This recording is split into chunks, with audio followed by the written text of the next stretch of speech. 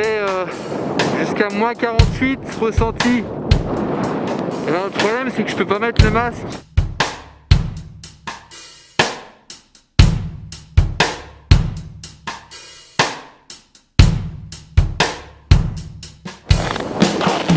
J'ai fêté ma fermeture, j'ai des trous dans mes petits gants, la totale. Sinon ça va.